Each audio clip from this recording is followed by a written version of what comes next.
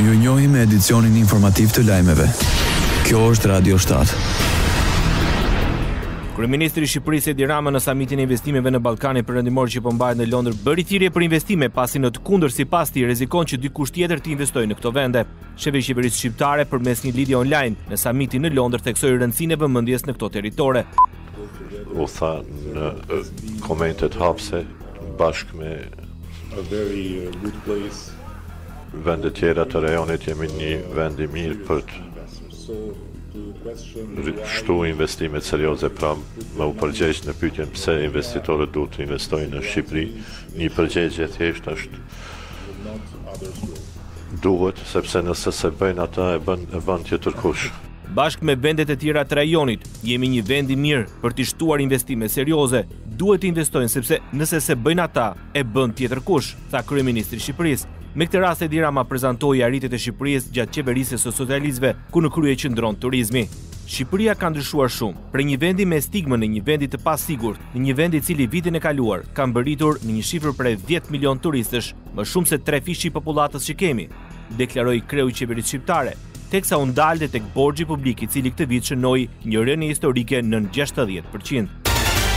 Kryeministri i Kosovës i pranishëm në samitin e investimeve në Ballkanin Perëndimor, mbajtur në Londër, prezantoi kushtet ekonomike dhe faktorët që ndihmojnë në nxitjen e investimeve. Albin Kurti tha se Kosova ka fuqi punëtore duke përmendur moshën mesatare të popullsisë. Sipas tij, në tre vitet e fundit janë dyfishuar eksportet dhe investimet e drejtpërdrejta të huaja, por shtoi se nevojiten ende investime të tilla. Kurti përmendi dhe arsimin profesional duke thënë se projekti ka nisur në katërmbëdhjetë komuna. Shefi i qeverisë në Prishtinë vlerësoi rolin e diasporës që po sjell jo vetëm remitancat, por dhe etikën e punës dhe dijen që kanë. Nuk kanë munguar përplasjet ndërmjet Prishtinës dhe Beogradit në samitin e investimeve. Serbia po ndryshon, dhe kur them Serbia qendrore, është e dyta herë që po e them këtë. Mendoj Serbia, që nuk përfshin në statistika krahinën autonome të Kosovës dhe Metohisë, që ne natyrisht e shohim si pjesë të Serbisë. Kjo është politikë. Ne tani po flasim për ekonominë dhe është me rëndësi për mua të flas vetëm për ekonominë, deklaroi Bërnabiç. Menjëherë ka ardhur dhe reagimi i kryeministrit Albin Kurti kur tha se ajo quhet Republika e Kosovës dhe se njihet anembanë botës si shtet. Vendi im quhet Republika e Kosovës, nuk jo si është referu këtu Kosovo e Metohia. Po të shkoja kësaj rruge do të Merja shumë kohë sepse përveç Serbia do të duhej të thosha Serbia, Vojvodina dhe Sanxhaku dhe Toplica dhe Rashka dhe Lugina e Preshevës dhe Krahina e Timokut. Ma mirë të përqëndrohemi në ekonomi, po. Deklaroi Albin Kurti.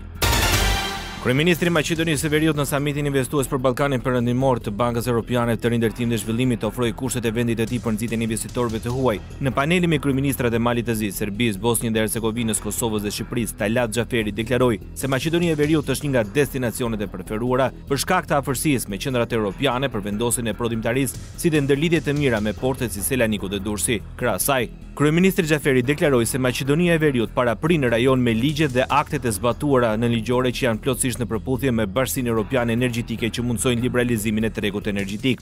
Radio shtatë, zëri pozitiv i qytetit.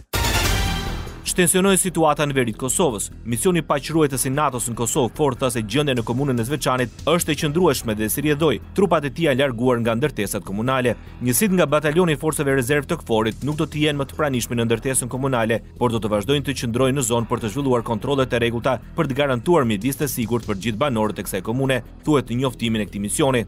Zëvendësdrejtori i policisë në Mitrovicën e Veriut, Veton Elshani, tha Zërit të Amerikës se Zveçani është komuna e fundit në të cilën kishte ende pjesëtarë të KFOR-it. Tensionet në komunat në veri të banuara me shumicë serbe shpërthyen në maj të vitit të kaluar, kur kryetarët shqiptarë të dalë nga zgjedhjet e prillit, që u bojkotuan nga qytetarët serbë dhe përfaqësuesit politikë të tyre, u shoqëruan me forca policore për në ndërtesat komunale. EULEX informon për qetësinë në veri të Kosovës pas largimit të KFOR-it. Pas zhvendosjes së Forcës Paqeruajtëse të NATO-s nga godina komunale e Zveçanit, edhe misioni europian i EULEX-it ka njoftuar se po patrullojnë para dhe rreth ndërtesës, por se nuk kanë prani të stacionuar aty.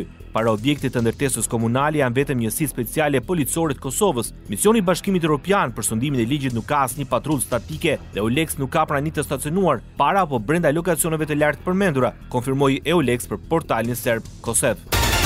Publikohen detajet e takimeve mes përfaqësuesit të lartë të Bashkimit Europian për Politikë të Jashtme dhe Siguri, Josep Borrell, me presidentin e Serbisë Aleksandar Vuçiç dhe kryeministrin e Kosovës Albin Kurti gjatë konferencës së sigurisë në Mynih. Përmes një teksti të publikuar në faqen e Shërbimit të Bashkimit Europian për Punë të Jashtme, Borrell shkroi se bisedimet fatkeqësisht kanë qenë të pasuksesshme.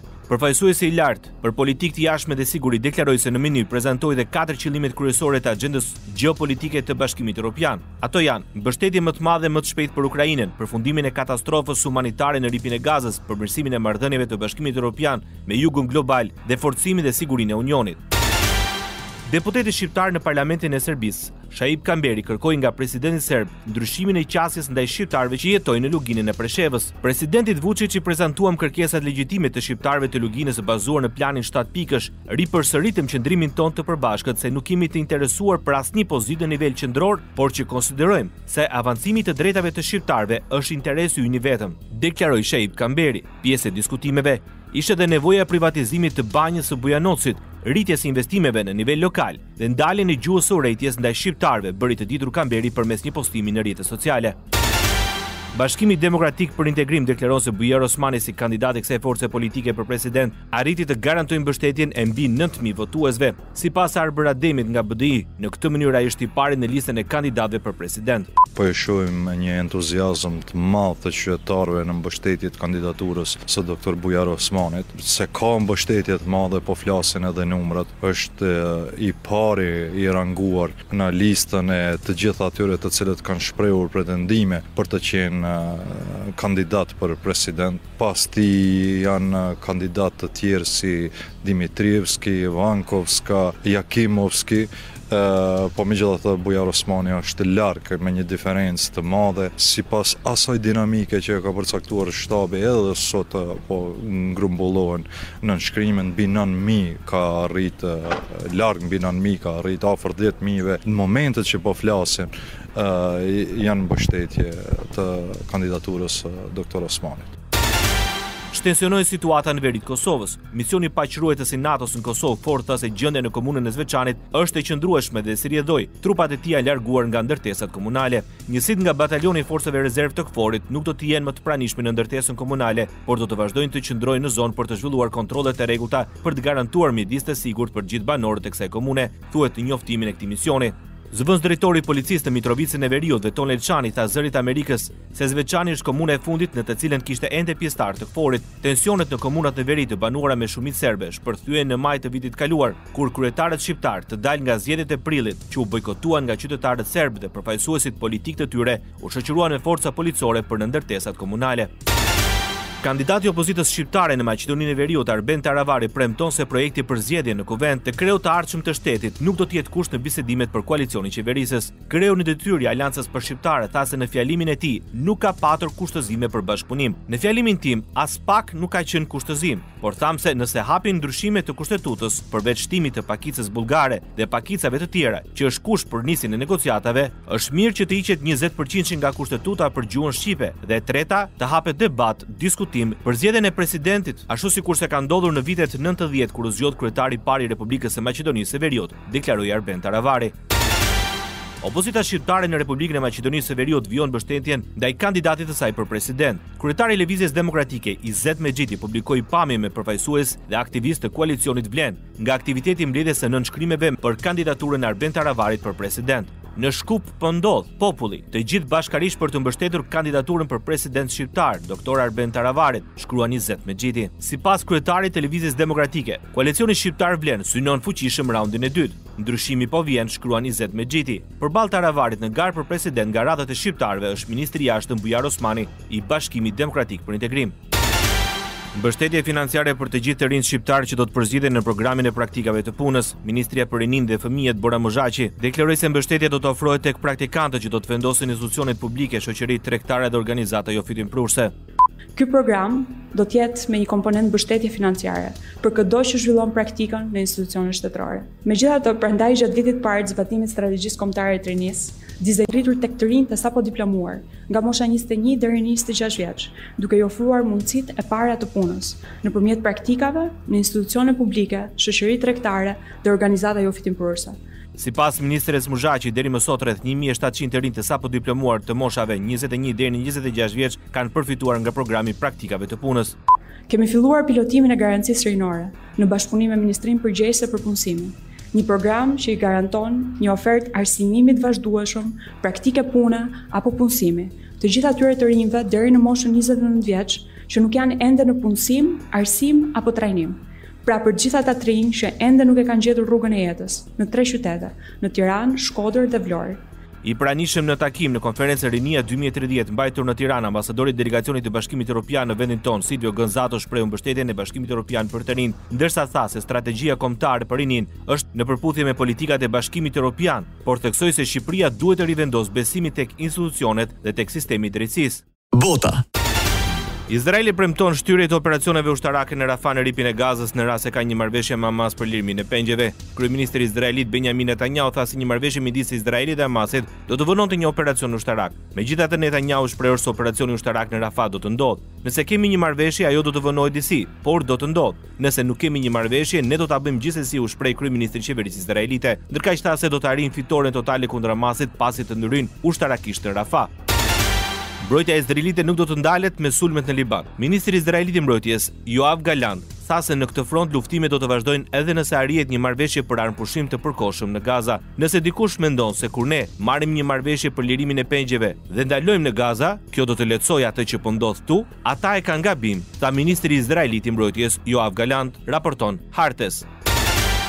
Forcat e armatosura izraelite vazhdojnë operacionet ushtarake në Khan Younis në jug të Ripit të Gazës. Për shumë ditë ka pasur luftime në Khan Younis dhe në 24 orët e fundit është urdhëruar evakuimi i popullatës civile. Dy spitalet kryesore janë nën rrethim për më shumë se një muaj dhe shumë persona janë arrestuar gjatë ditëve të fundit. Në një nga dy spitalet kanë ndërruar jetë tetë pacientë të cilët nuk kanë mundur të marrin asistencë respiratore. Ushtria foli për një operacion të saktë e preciz kundër organizatës terroriste Hamas në spitalin Nasser, ku u identifikua një i dyshuar dhe u gjetën prova të aktivitetit terrorist. Gjatë ndërhyrjes, forcat e armatosura izraelite siguruan se spitalit i ishte ofruar ndihmë humanitare, veçanërisht ushqim, ujë të pijshëm, ilaçe dhe karburant në mënyrë që ai të vazhdojë të funksionojë.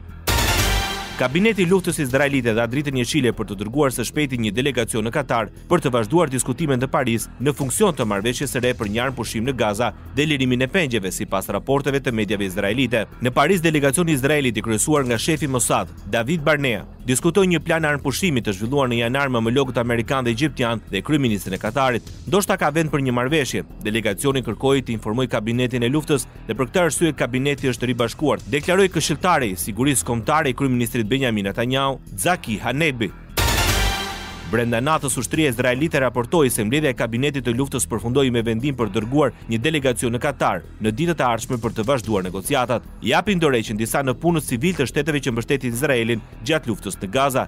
Shkak janë bërë mosmarrëveshjet me politikat pro-izraelite të qeverive të tyre. Një rast i tillë është diplomatja holandeze, Angelique Eijpe.